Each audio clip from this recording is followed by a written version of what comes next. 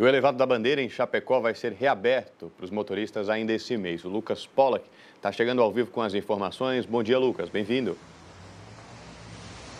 Lucas, muito obrigado. Bom dia a você, a todos que nos acompanham.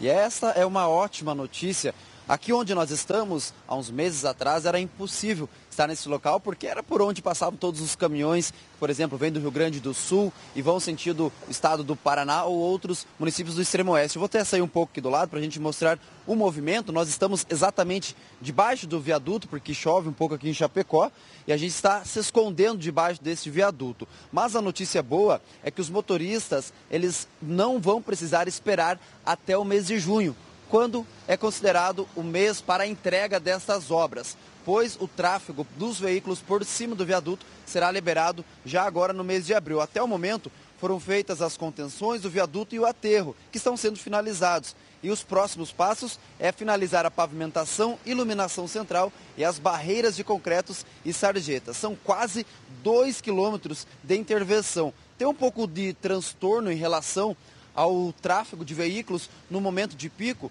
porque muitas obras acontecem, obras complementares aqui no viaduto, como por exemplo até troca de adutoras da Casan, que deu um transtorno ontem, aliás, antes de ontem, neste local, mas também outras obras complementares do próprio viaduto. Agora o trânsito está considerado um pouco tranquilo, mas as pessoas elas acabam até esperando mais de uma hora para passar aqui pelas marginais laterais, o que não vai mais acontecer a partir do final deste mês, onde o trânsito será liberado por cima do viaduto. É o principal acesso de Chapecó, principalmente para quem chega no município do estado do Paraná, do extremo oeste e também quem vai para o Rio Grande do Sul ou faz o sentido contrário. Notícia boa então, final do mês, tráfego liberado por cima do viaduto aqui do elevado da Bandeira.